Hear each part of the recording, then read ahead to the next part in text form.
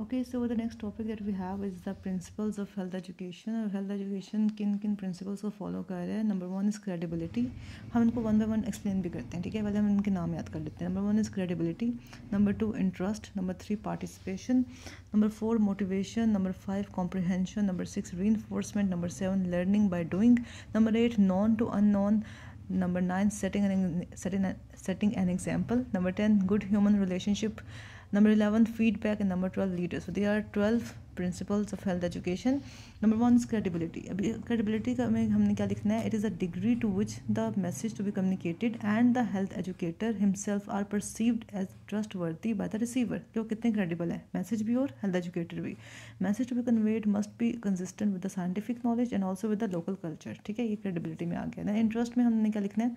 It is a psychological principle that people are not willing to listen to those things which are not of their interest. So health educators must find out the real health needs of the people. Psychologists unko felt needs kehte hain if a program is based on the felt need of that people the real needs of the people the people will participate in it right?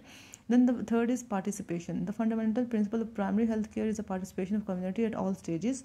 Participation is based on active learning principle. Health education should aim at encouraging people to work actively with the health workers in identifying their own health problems and also in developing the solutions to work them out okay Fourth is motivation. In every person, there is a desire to learn. Awakening this desire is motivation. In health education, motivation is an important factor. That is, the need for incentives is the first step in learning to change. अगर उनको incentives देंगे तो they will be motivated to work on our health message. Fifth is comprehension. In health education, we must know the level of understanding, education, and literacy of people to whom the teaching is directed. We should always communicate in the language that, that the people will understand. Six is in reinforcement. Repetition at intervals is very useful if the message is repeated in different ways at different times. People are more likely to remember it. Seven is learning by doing. As it is said that if I hear, I forget. If I see, I remember. And if I do, I know. Illustrates the importance of learning by doing. Uh, so we should teach them by demonstrations and actually teaching them how to do it. Then eighth is known to unknown so हम पहले उनसे ये पूछते हैं कि आपको पता क्या है फिर उनको उससे से आगे लेकर चलते हैं। उससे हमें आइडिया हो जाता है उनका लर्निंग लेवल क्या है। So in health education work we must proceed from the known to unknown set in example the health educator should be should set a good example in the things that he is teaching ठीक है? He should follow those things as well then 10th is good human relationship. so uh, the educator must be having a good human relationship with the people he is teaching and uh, the learning atmosphere as well.